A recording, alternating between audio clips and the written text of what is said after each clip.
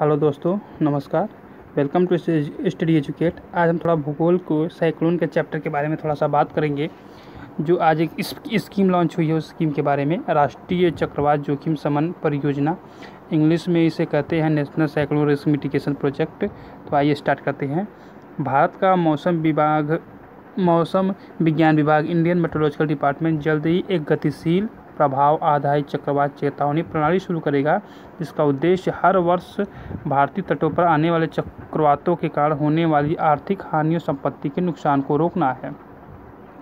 IMD के महानिदेशक ने यह घोषणा 6 अक्टूबर 2020 को Indian society for remote sensing द्वारा आयोजित विश्व अंतरिक्ष सप्ताह समारोह में की है।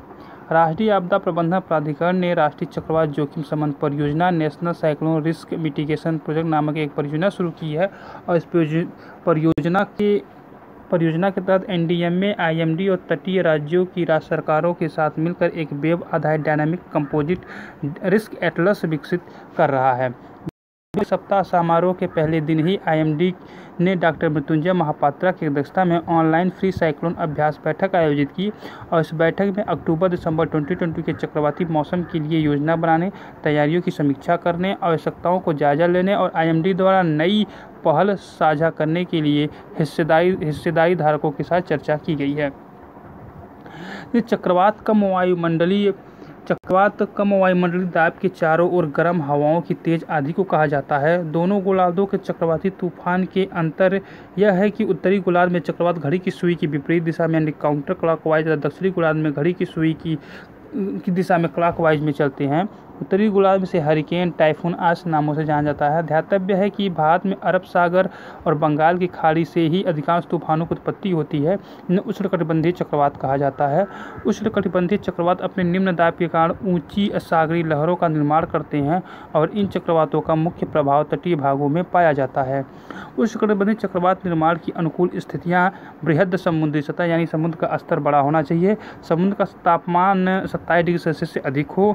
कोरियोलिस बल का उपस्थिति होनी चाहिए। लंबवत पवनों की गति में अंतर कम होना चाहिए।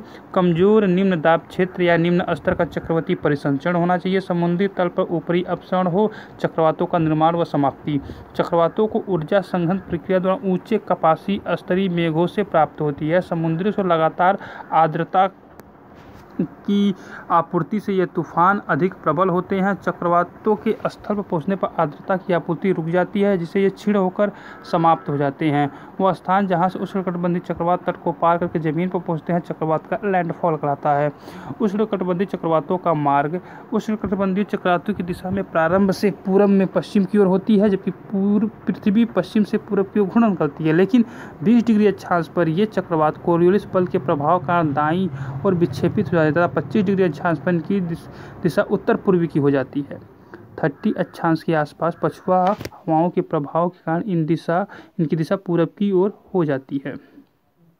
हाल के वर्षों में बेहतर प्रौद्योगिकी और उपग्रह निर्देशित डेटा के उपयोग में वृद्धि के साथ आईएमडी ने चक्रवातों के पुनर्नुमान और समय पर चेतावनी जारी करने में बेहतर प्रबंधन किया है।